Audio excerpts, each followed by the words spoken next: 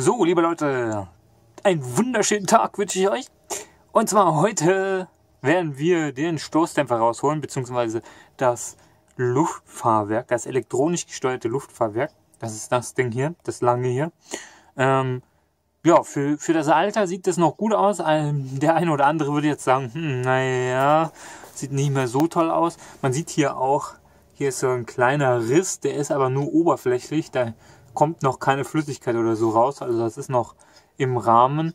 Ähm, es ist natürlich eine Frage der Zeit. Das wird wahrscheinlich nicht ewig halten, aber es ist schon lohnenswert. Vielleicht kann man da das eine oder andere nochmal draufschmieren, damit das nochmal ein bisschen länger hält. Ähm, ja, also es ist auf jeden Fall nicht schlecht, dass wir den rausholen können. Die sind nämlich mega viel wert.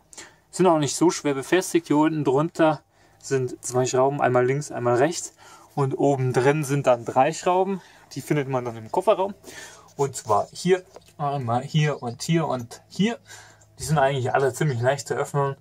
Da muss man zwei Stecker lösen. Einmal die Luftdruck, den Luftdruckschlauch. Das ist der hier. Den muss man lösen. Der ist nicht so fest. Den muss man einfach hier die Sicherung weg und dann kann man das wegziehen.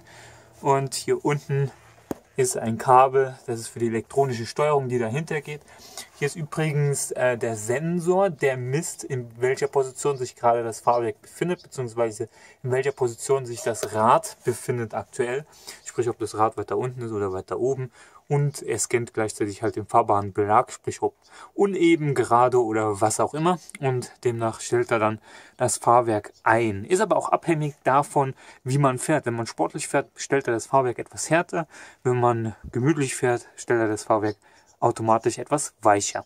Ja, das holen wir uns heute und vielleicht baue ich es dann auch gleich heute noch in den Cadillac von Xialin ein, was wir aber jetzt nicht wirklich aufnehmen werden, weil einmal ausbauen. Es geht ja nur hier ums Strippen von diesem schönen Wagen. So, dann legen wir los.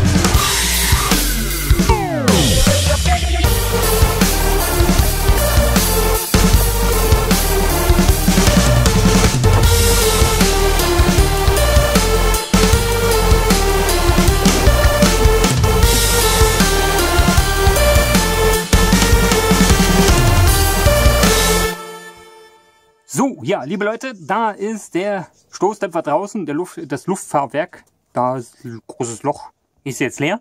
Und ähm, ja, ich habe beide Seiten draußen und habe hier schon mal ein bisschen Silkaflex drauf, sprich, dass die Risse ähm, wieder schön gefüllt sind, die da vorhanden waren.